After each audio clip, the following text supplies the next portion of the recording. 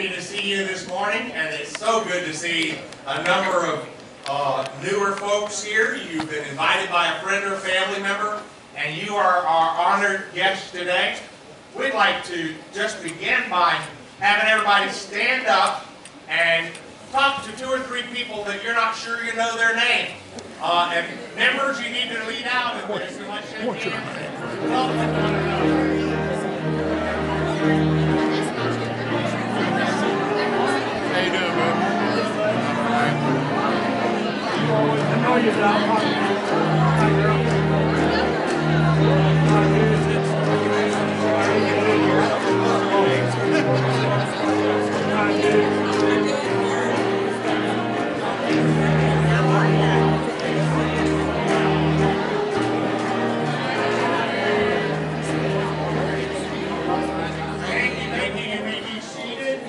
you, know you got a, a big crowd in church when, your seat has been taken. And somebody else, you know, you sat there. You know what, we don't own any seats, do we?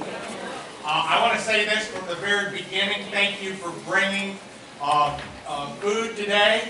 And if you just slipped your mind or you didn't bring any food or if you're a guest, please know that we want you to stay and join us for uh, a wonderful Thanksgiving dinner today right after the service. Right there by the sound booth, you'll just go that way, get in line, and there's plenty for everyone. And we want you to be here because you're, you're important to us. We're glad you're here. We're thankful to God that you're here. And there are a few people, I mean, everybody's good that you're here, but where's Bob Rexroth? Where's Bob? He's all the way in the back in overflow. Bob's in the, you got family looking for you, Bob. I'm so glad to see Bob Rexroth back in church, amen. After being, being ill for a while, God you're back with us. And uh, I know we have a lot of friends and family members here today. Uh, if you are a friend or family member, you don't normally come to Calvary, you're invited any Sunday. We don't eat every Sunday. But if you hang around, somebody might take you out to eat. But we want you to tear off this part of your bulletin. In fact, I wonder if there's anybody didn't get a bulletin and you'd like to have one. Anybody need a bulletin? Raise your hand. Right over in this corner, Ward's friend needs a bulletin. Anybody else need a bulletin? Tear this off. And also, if you're interested in becoming a part of our church, you can write that on there. I'm pretty sure we got one person that's already decided this morning that he's going to join our church. That's always exciting. So just fill it out on the other side, put any prayer requests. We're just so thankful that you're here with us today, and uh, we're we're blessed. I do want my Operation Christmas Child Shoebox Lady, where she's in the back. Somebody go get me a box. Can somebody go get me a shoebox? Nobody can. Go get me a shoebox. Because this is important. I got a little girl going after a shoebox. I'm taking my granddaughter uh, this afternoon. We're going to take two shoeboxes and work to the dollar store or somewhere, and we're going to fill those shoeboxes up. Because I want, she may not know it, but I want her to be a part. Bring it up here, Richard. If you don't know what Operation Christmas Child Shoe, uh, the shoeboxes is all about, is this one full? Yes. All right. This shoebox is going to go somewhere around the world and bless a child.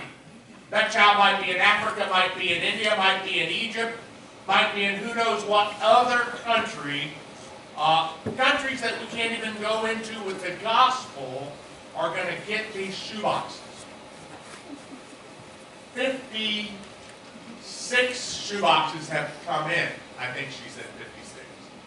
That means there are 44 out. They need to be back by next Sunday. If you can bring them by Wednesday, that would be good. But you will bless a child. And by the way, let me tell you, you know, it says somewhere on here in paperwork, $9 for every shoebox, that's paid for. A generous donor has paid for that for our church.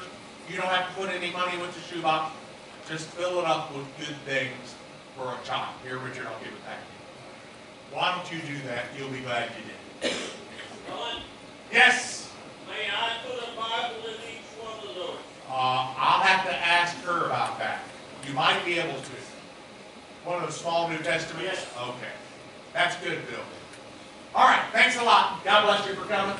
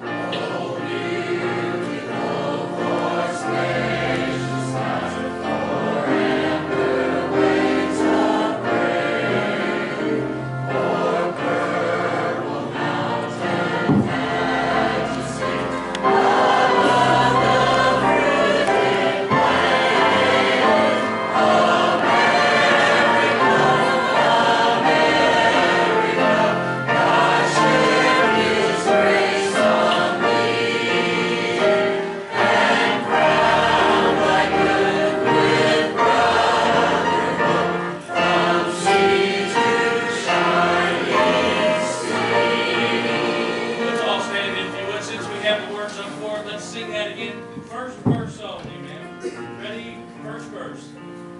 Oh,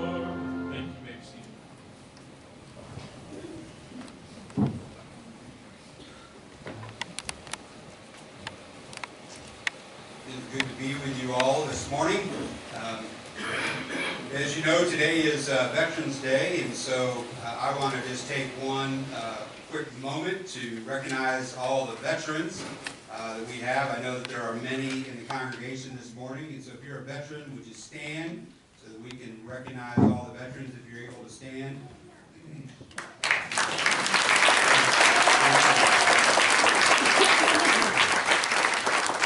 want to thank you for your service, and, uh, you you know, it's not just the veterans that uh, serve in the service, but of course their families that serve alongside of them. And uh, it it takes a great sacrifice from not only uh, them, but uh, also their families, uh, their loved ones, and their children, and everything else. And so, uh, also, if you didn't know, today is the 100th anniversary of the signing of the armistice that ended World War One. Uh, And so uh, it's amazing how time goes by, isn't it? Uh, They signed that on October, on November 11th at 11 o'clock uh, in 1918. Um, So uh, that happened today in history. So as we go to prayer this morning, let's re- remember Mariah uh, Boozing, as she is still in the hospital uh, with a lot of issues going on there. And so let's lift her up into prayer. Continue to remember our country, uh, as a lot of things are going on uh, across the country. And of course, we still have a lot of issues uh, with one another and, and just pain and, and agony and things going on, a lot of unspoken requests. And, and so let's just remember each other in this, uh, in this day, okay? Let's go to the Lord in prayer. Our great God and Father, we just uh, thank you that you're a great and awesome God. That you have given this country so much, so many great blessings. So many great people have served it. So many have sacrificed so much.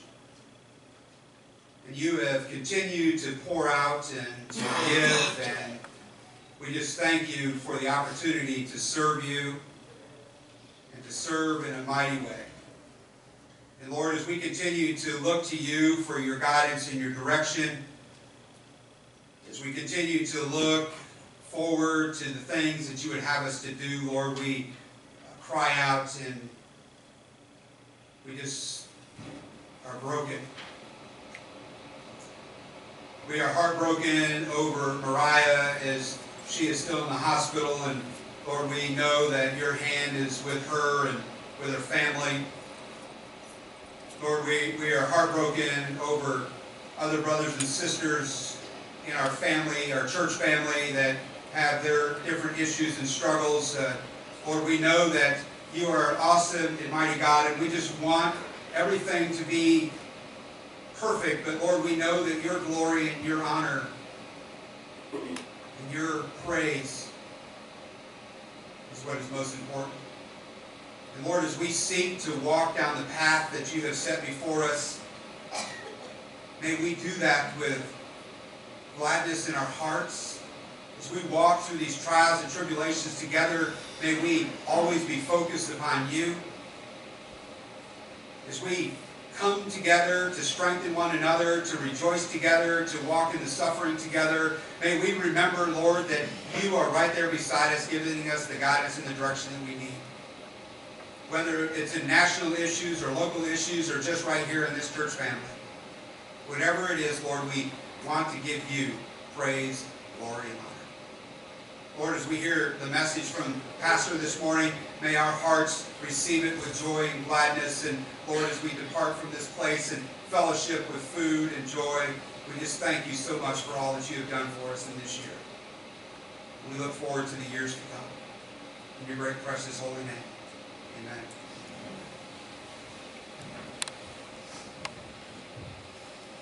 Take just a second to tell everyone, next week, we are also continuing on with our Thanksgiving theme, and the choir will be leading worship, the first part of the service, and it's gonna be an audience participation type of thing, so you wanna come, you don't have to study, just show up, and it'll be a wonderful time, we'll have a, other instruments, there's some neat things happening next week, so mark it on your calendars, good time to invite your neighbors or friends or relatives that maybe ordinarily don't come, try to get them to come with you.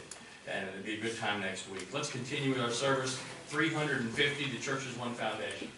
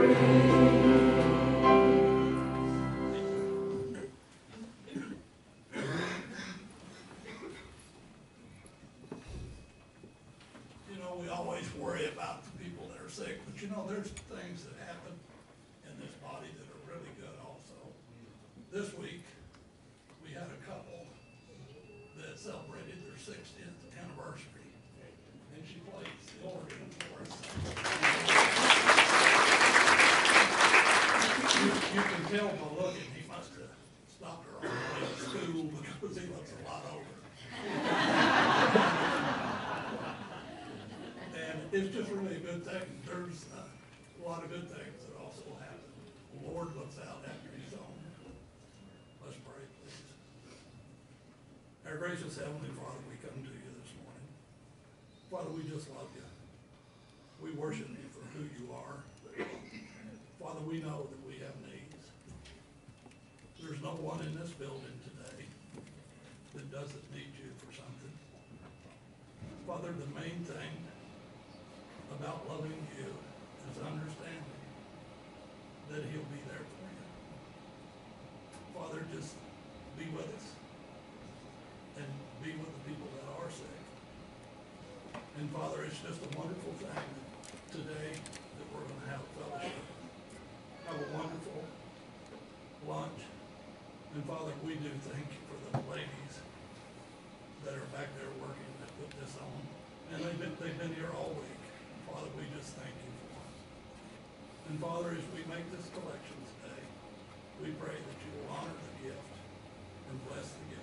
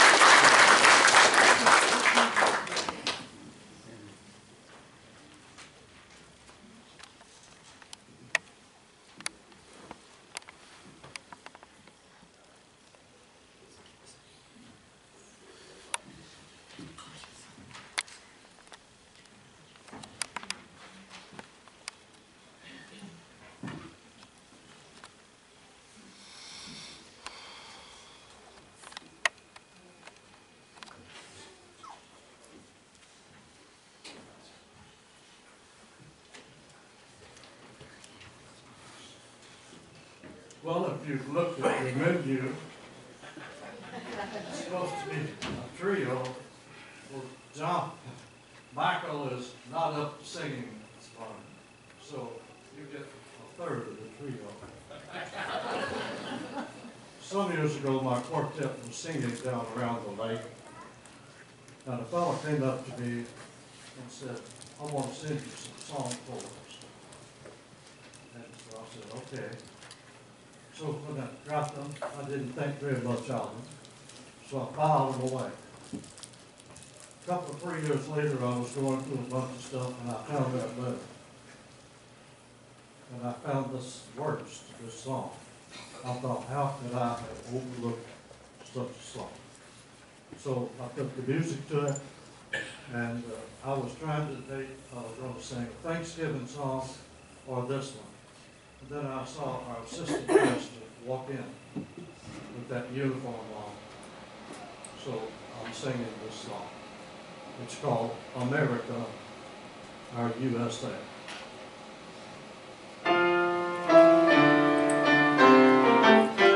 This is our country, our native land. We love this country for which it stands, righteousness and liberty, rights for you and me. This is America, our USA. This is our country, its beauty reigns on its wide ocean, down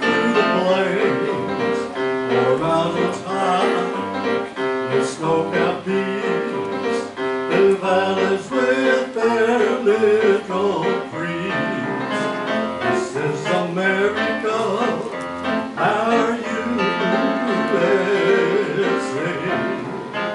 This is America, our native land. We'll fight to keep its beauty grand for freedom's right and liberty. How great it is, America, our USA. This is America, may freedom ring, and all its people rejoice and sing. God bless this land in every way. How proud we are when we all say, This is America,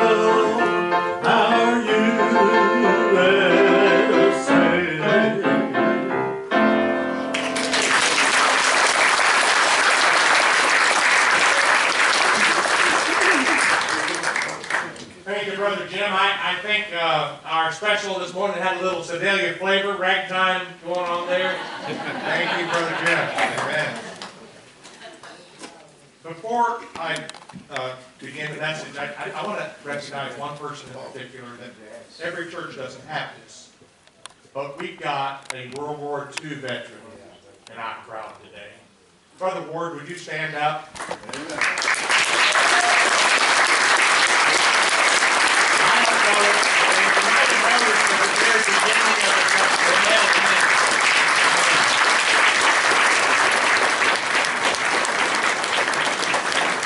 God bless you, Lord, and God bless America. Uh, I don't know if there are any other World War II vets here. Maybe, uh, no? Well, that's an accomplishment. There are not a lot left. Before I preach, I want to ask somebody to come up here. Last week, at this very time, this young lady was in an ambulance on her way to the hospital. She just got a word she wants to say. Aren't you glad Crystal's here?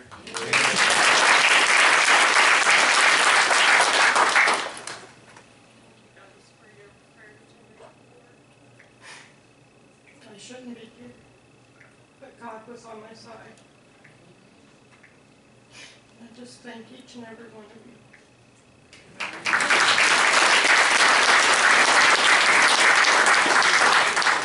I figured this out, Crystal. Because of Ted driving, I'm just kidding about that. Ted was driving. Eight people weren't in church last Sunday. Eight people. Uh, That's, you know, no, I'm just kidding. You know, how many are here is not the important thing. What is important is what we do when we are here. That's the important thing. And I've got a simple sermon, uh, today. I, I didn't say it was short, but you know what? One thing, uh, that Jonathan's thankful for is no, no Bible will be thrown in his face today, because there were ninety-five in Sunday school, but ninety-five is good, amen? But, uh, it, it, I don't know if the official count is in, we'll find out at the end of the service with everybody everywhere where they are, how many are, uh, here during this hour, but that's not the important thing. The important thing is that you are here right now. God has a, a reason for us all to be here right now. This is a great season of the year. I love it when uh, the leaves fall. By the way, I have a philosophy about leaves falling. In my yard, they will all fall before I pick one of them up. I just can't go after them day after day. That's just me. Then I might not pick them up anyway. If you want to bid on my leaves, I'll talk to you, you know, uh, I'll be glad to pay somebody to pick them up. But anyway, it's a great time of the year. The holidays, Thanksgiving, we're with each other. Uh, it, people just kind of get a little more upbeat oftentimes at this time of the year. So I just want to think about this word for a moment. Thankful thankful. Would you just try to wrap your heads, your hearts around that word for a moment? Thankful. 1 Thessalonians 5 17 says, well, that's the wrong verse. I'm sorry. It's verse 18, I think. I made the wrong verse. My mistake. Verse 18 says, pray continually. That's a good verse. That's, that's my mistake. But the next verse says, Give thanks in all circumstances. For this is God's will for all of you in Christ Jesus. In another translation, it says, In everything, give thanks. Crystal, in everything, give thanks. Last week at this time, it wasn't easy to give thanks. Instead, it was a cry out to God, like we talked about in Bible study this morning. In everything, give thanks. Well, I, I want to put that in perspective for just a moment. Let's just imagine for a moment it's the end of your life. You're on what you, the doctors have told you, is your deathbed. You're not going to get well, but you still have your mind. And isn't that a wonderful thing to have? And, and when all is said and done, at the end of your life, what will you be most thankful for? Let me tell you what it won't be. It won't be your bank balance. Because what difference does it make then? It'll make a difference to your children and maybe your grandchildren, but to you it makes no difference whatsoever. It won't be the career and that you can still wear your uniform after you're retired, like our associate pastor Jonathan uh, is wearing his uniform. It won't be your boat. It won't be your cars. I, I, I read something the other day and had a list of what was the favorite car for every year back to like 19, I don't know when the cars start, 17 or something like that. It won't be your antique car. It won't be your favorite car. It won't be your current car. It won't be your, your house. Some of you have had an opportunity to build your dream house. I remember when my wife and I, we built a couple of houses, haven't we, hon? And uh, I remember when we built our dream house. It was in North Carolina. I think besides that one was Baltimore. One of the nicest houses We were able to design it ourselves. God provided so we could pay the monthly mortgage. But you know what? That wasn't really our house. That was just a house that God let us use for a little while. Because whatever house you're in right now, even if it's the place you grew up, it's just a house. It's a temporary dwelling. It won't be your house that's most important. It won't be your closet full of clothes. It won't be for some of you your expensive toys. It won't be your favorite sports team. It won't be anything that you can put your hands specifically. At the end of your life, what will you say you're most thankful for? I want to look at a couple of scriptures here. Hebrews chapter 9 and verse 27 is a fact of life that we all must face at one time or another. And this is it. Just as man is destined to die once, and after this, the judgment.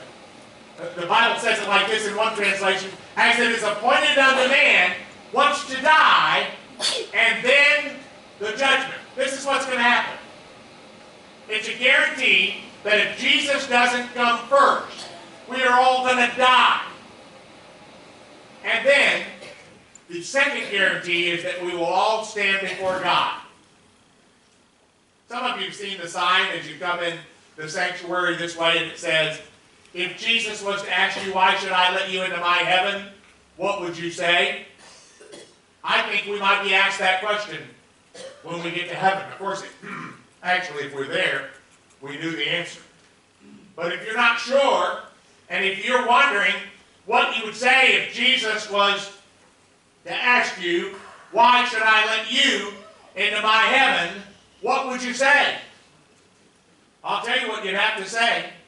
You'd have to say, I place my faith in Jesus. It's all about His grace. It's all about what God did for us and not what we did for God. As a 12 year old boy, my, my sister invited me out to a, a youth meeting, and I went for hamburgers and girls, and I found Jesus that night. Because I placed my faith and trust in Jesus as my only hope for heaven. And if you're sitting here today and somebody who loves you or, or wanted to invite you, I hope they love you if they invited you, brought you here today, one of the reasons they brought you here is they want you to know that Jesus can be your Savior too. Psalms 34 verse 9. Psalms 34 verse 9. Fear the Lord, you who saints, those who, who, who fear Him, lack, lack for nothing. Uh, we, need to be prepared, folks. Prepared. Ready. Why should we fear God? Because God's the only one who can us into heaven. God is the one who is our judge. James 4, 13 and 14. Listen. Listen. Now, when God says listen, he means listen. Listen, you say today or tomorrow, we will go into such a city and, and we will buy and we will sell and, and we will get gain, and we'll carry on business and we'll make money. Those of you that have your plans laid out for tomorrow, God can change your plans. You don't even know what's going to happen tomorrow. For what is your life? Well, I'll tell you what your life is, what my life is. Your life and my life is a vapor. It's a puff of smoke. It's a mist. It appears for a little time. And then it vanishes away. What is your life? And when you think about what is your life, think about this life is not forever. Our life in heaven is forever. Our life with Jesus is forever. And you can have that forever life. Now I know many of you do. Many of you here Sunday after Sunday, and, and not only that, I'm so thankful for the, every one of you come on Sunday morning, and, and then those who come back on Sunday night to get a second helping of God's Word, a different message, and then on Wednesday night, I especially appreciate all of my Awana workers in this church that take care of the little snobgobbins on, I mean, little people on, on Wednesday night. And I appreciate our, our associate pastor who works with our teenagers and, and, and, and things are, are, are really good there. They're getting ready to have a, a, family hayride with the, the teenagers and their families. If your teenager hasn't invited you, they're supposed to. That'll be a, next week, coming Friday night, yeah.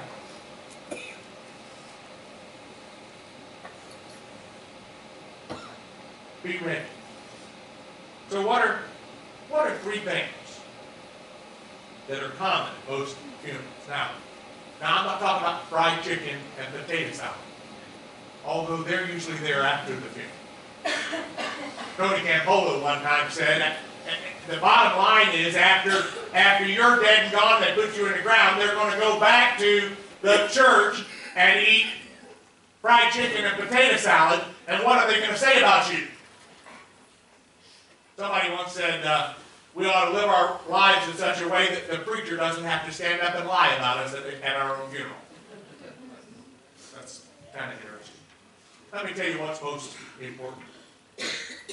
Number one, maybe not in, not in, maybe not in priority order, but three things that are common most funerals are family. Family. Family is so important. And you know, I even see this this morning as some of you brought your, your father or your sister or your, your brother or your, your son or your, I brought my granddaughter. You'll get to meet her later uh, if you stay for lunch. She'll be all over the place, I'm quite certain. Uh, you brought somebody with you today.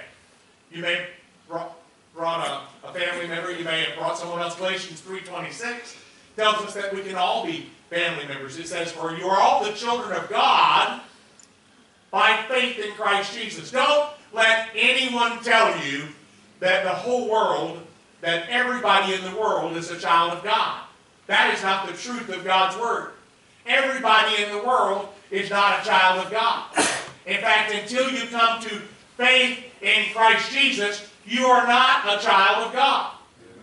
You're a child of the world. We all have humankind in common, but we only have a Heavenly Father in common when we come to faith in Christ Jesus. But family is important.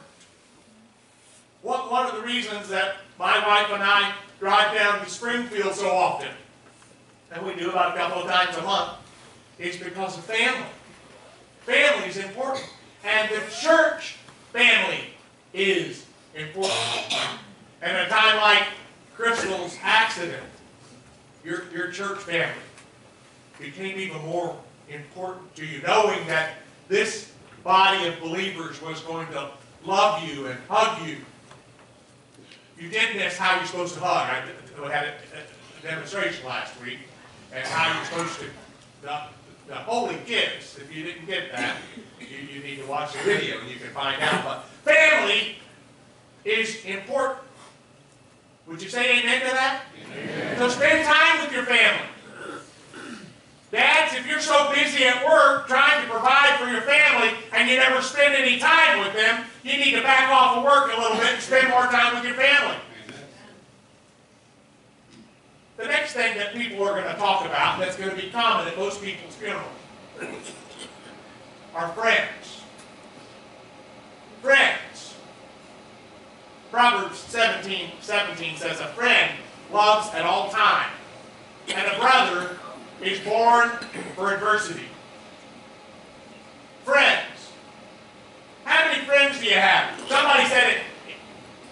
A person is a lucky, I, I don't know who said this, but and I don't believe in luck, but maybe we'll use the word blessed. You are blessed if you have five friends.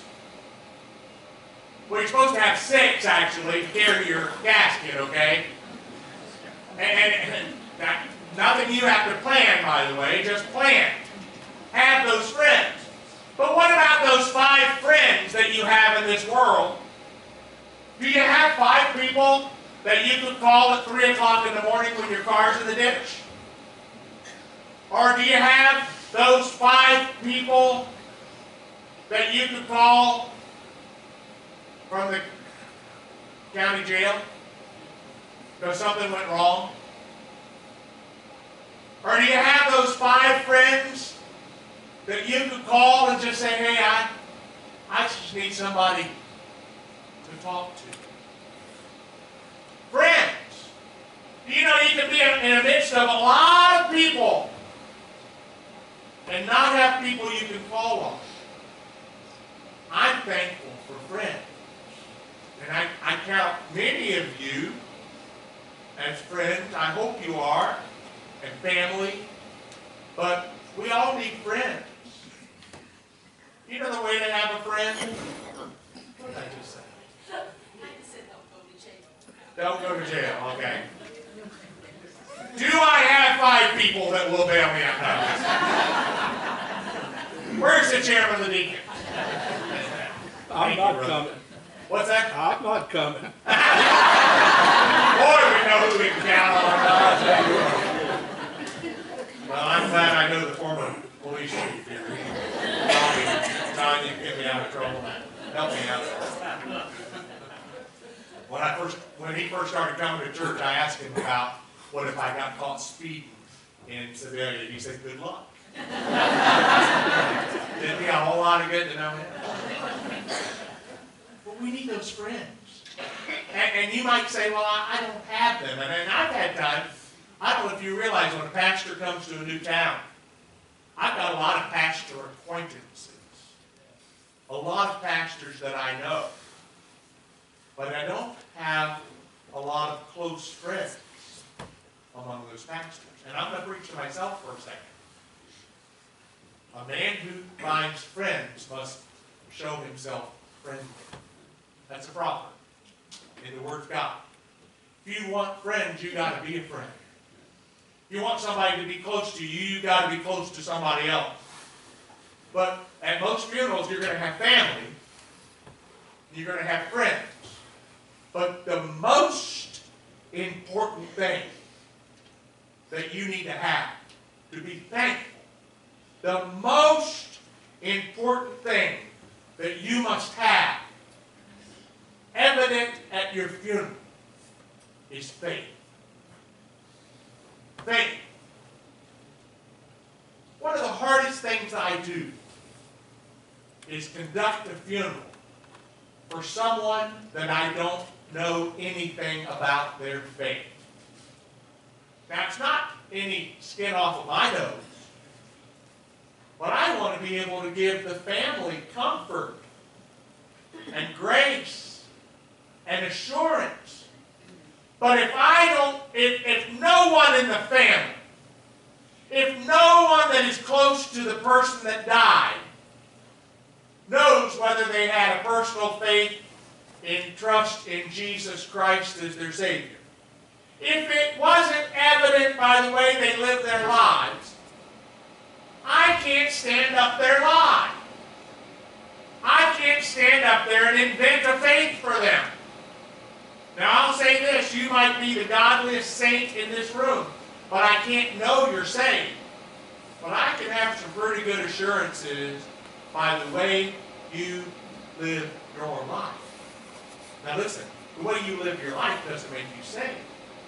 But the way you live your life can demonstrate the faith that you have on the inside. Last week when we were preaching in Philippians in the evening service, I, I quoted a I, we read and talked about a verse that says, "Work out your own salvation with fear and trembling." That didn't say work for your salvation. It said work out your salvation, and you can't work it out unless you have it in. But every one of us ought to be working out our salvation so people can see the light of Jesus in our life. See, because Hebrews chapter 11, verse 6 says, For without faith it is impossible to please God.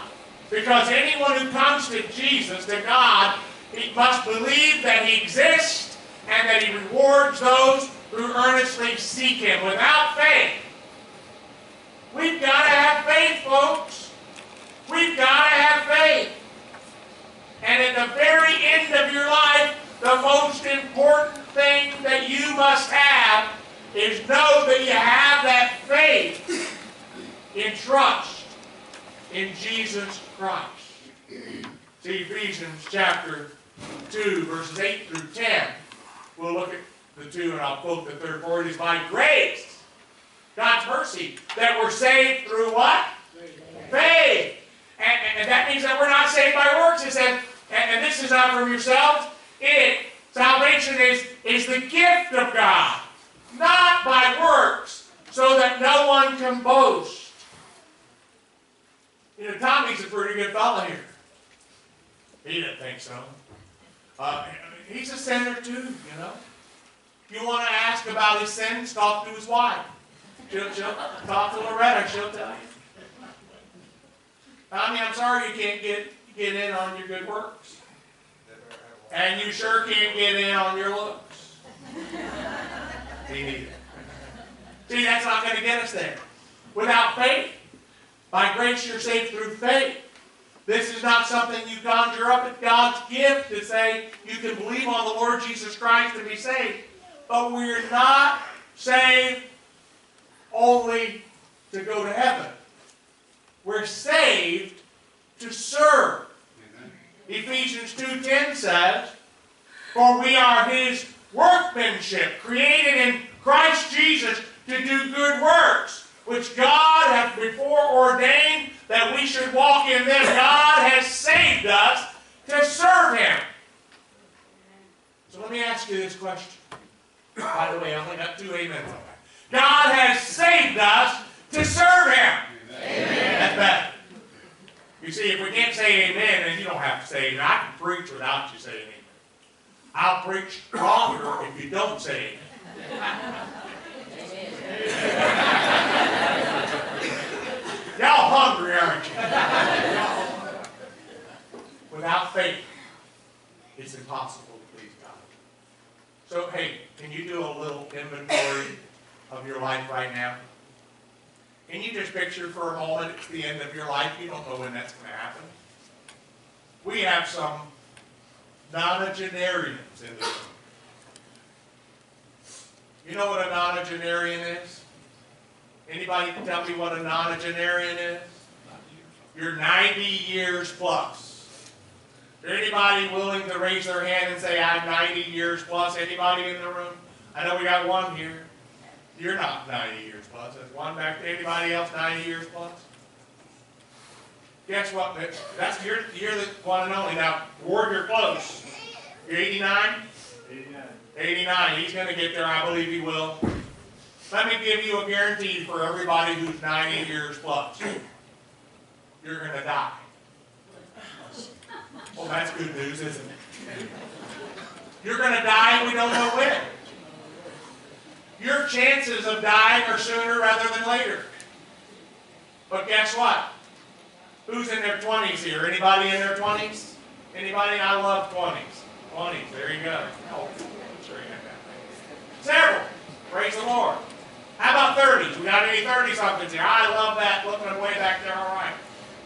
Guess what? You're going to die too. Boy, you're full of good news today, preacher. And we don't know when. So we need to be ready. I don't want to forget the 40s. How many are in your 40s here today? Oh, I love to see those 40s. Amen. Just remember, Brent, just remember, 40s, 40's the new 30. That's a joke. Okay, who, who do we have that's 50 or above? Raise your hand. That's the majority of the congregation.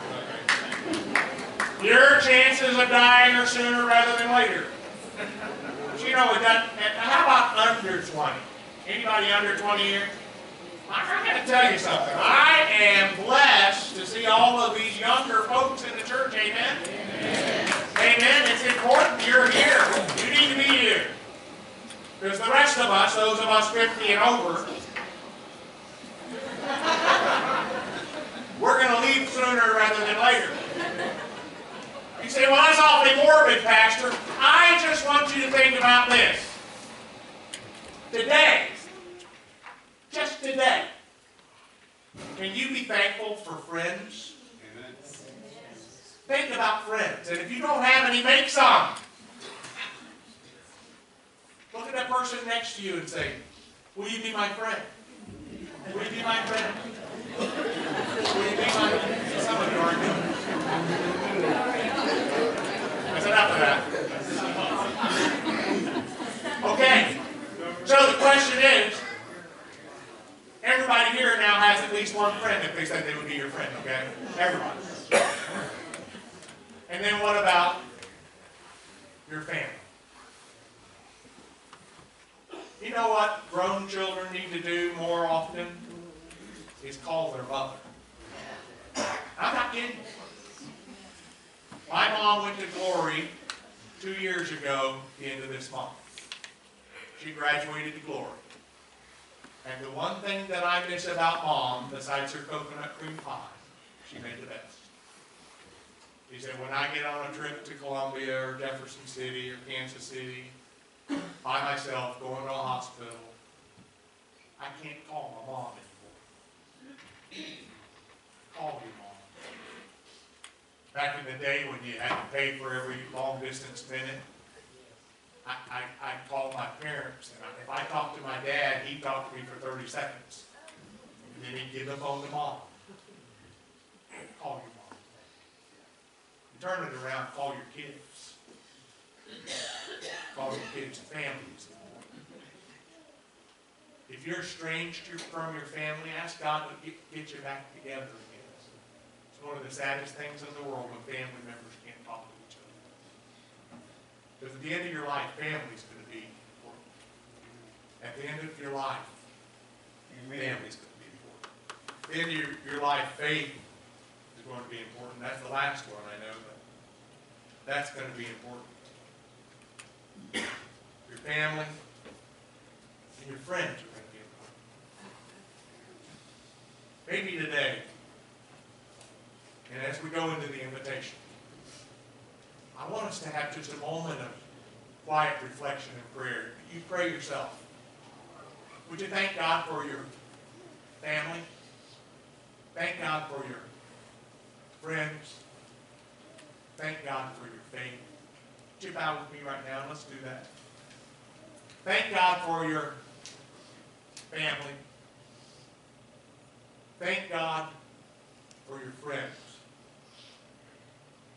Thank God for your faith.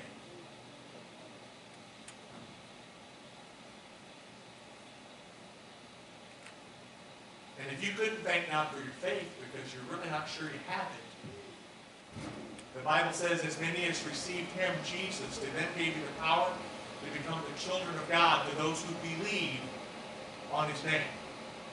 Have you placed your faith and trust in Jesus as your only hope for heaven? If not, do it right now. Call upon God because the Bible says, whoever calls upon the name of the Lord shall be saved. So say something like this to God, God, I know I'm a sinner, but I need Jesus. And right now I believe he died and rose again for me. And I'm trusting Jesus to get me to heaven. I've never done it before, but I want to do it right now. Be the most important decision you'll ever make. If you'd like to do that, we'd rejoice with you. Would you let me know by lifting up your hand and putting it back down and say, Pastor Don, pray for me. I'm asking Jesus to be my Savior today. Is there anyone? Right now? God bless you. Thank you. Lift up your hand and put it back down. Between you and God, but we want to rejoice with you. Is there anyone else? I may not see your hand, but God sees your heart. If you're trusting Jesus as Savior, take the next step. Not to be saved, but because you are. And come to the altar and say, I want to publicly say that I've asked Jesus to be my Savior. And I want to follow Him in believer's baptism. And I want to be a part of the fellowship. And maybe you're here today and you, you have received Christ and you are a believer and you've been baptized. And you just want to become a part of this church, moving either your letter or coming by statement of faith. Or maybe you've never been baptized, you're a believer, but you'd like to publicly identify today that Christ is your Savior and you want to follow Him. We invite you to come during this invitation. Father, I pray you bless this time.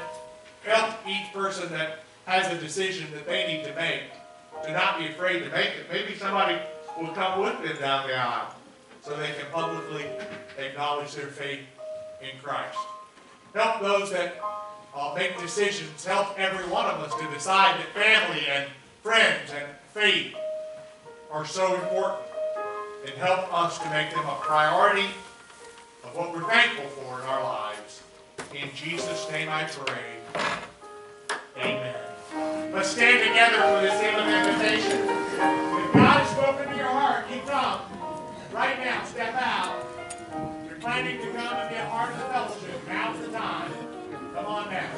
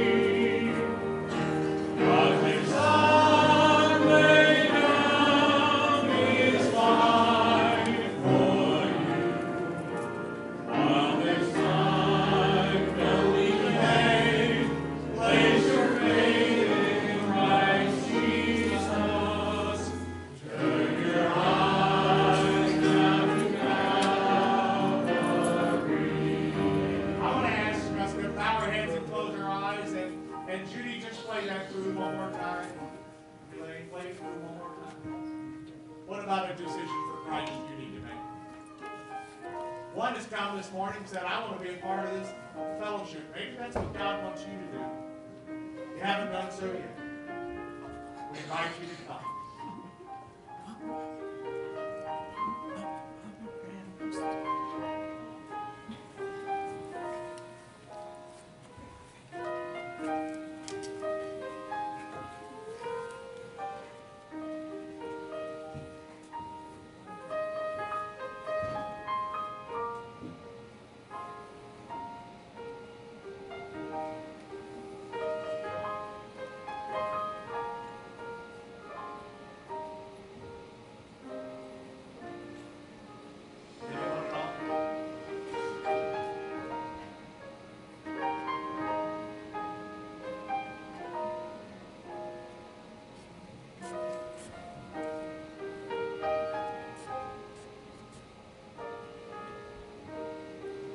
You may be seated for just a moment.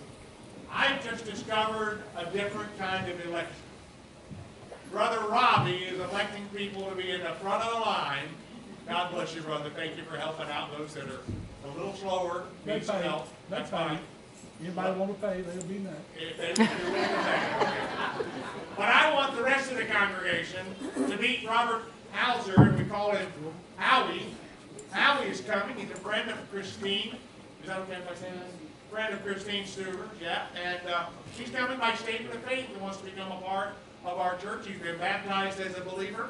Would you welcome Howie into our? I'm gonna do this for Howie, I'm gonna bring you back there where my wife and I stand. Usually we have you stand here at the front, but that wouldn't be fair, because they all wanna go that way. So as they go and get in line, you can shake their hand and, and, and, uh, Howie, uh, has been coming faithfully, coming to Sunday school, and we're thankful for him being here, so praise the Lord for bringing Howie in today. Uh, where's Michael? Where's? One fifty-one, oh my. No pie in the face today, but you know what? That's everybody in the room. And then there's more back in the kitchen and downstairs. One hundred seventy. Hundred what? seventy-one. Hundred and seventy-one. So I gotta tell you this story before we go back there. Is that I went and looked for a cheap coconut cream pie last night, and I couldn't, because I said if it's gonna go in my face, I wanted it to be a cheap one. And I couldn't find one. But I bought a nice one, and it's back there, and there's a lemon meringue pie that will not have to die. Because it will be eaten, because nobody throws it in the face. That's all right, that's good. Let's stand together as we sing God, America.